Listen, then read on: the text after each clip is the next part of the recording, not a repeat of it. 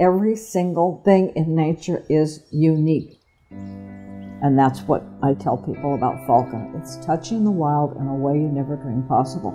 You are suddenly part of that huge, infinite cosmos that's right here on planet Earth. You're aware of it. What the Hubble telescope has shown us has been pictures that we never dreamed possible. People should turn around and look around them. We have that here on Earth. That's the one thing that falconry means to me more than anything. It has given me the ability to recognize that. My name is Nancy Cowan. I am a master falconer. Becoming a falconer was not something that I aspired to or thought I would take up. Hunting is what you do in falconry. It is hunting with a trained bird of prey. You don't have to train the bird to hunt, but you do train the bird to work with you and to accept you as a partner. That's the most important thing to them in the world. They live to hunt.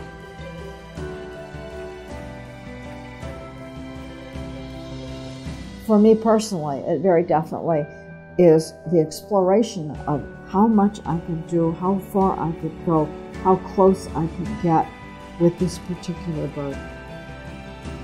I have been doing this for 30 years. I am a master falconer, but I consider myself a beginner.